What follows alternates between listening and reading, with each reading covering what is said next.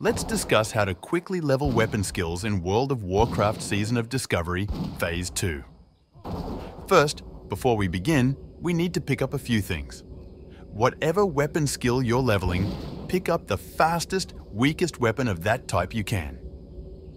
In this video, I was using the BKP Sparrow Smallbore due to its 1.7 second attack speed, but any fast weak weapon will do. Hunters can also pick up an ammo container that increases their ranged attack speed significantly. Lastly, any intellect buffs you can get your hands on will help greatly. Consider asking a mage for an intellect buff or picking up a scroll from the auction house. If you really want to min max, you can purchase a set of intellect gear from the auction house as well. Alright, we've completed all the prep work. Now let's head out to Stranglethorn Vale, where we will be heading to the Kurzen compound. You're looking for the Kurzen Medicine Man enemy. These enemies have two abilities that aid our cause, heal and renew.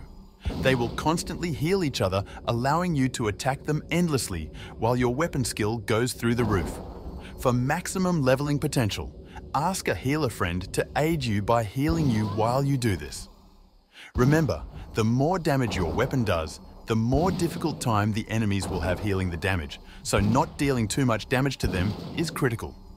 If you have abilities that reduce your damage output, even better. That's all there is to it. Now get out there and level those weapon skills.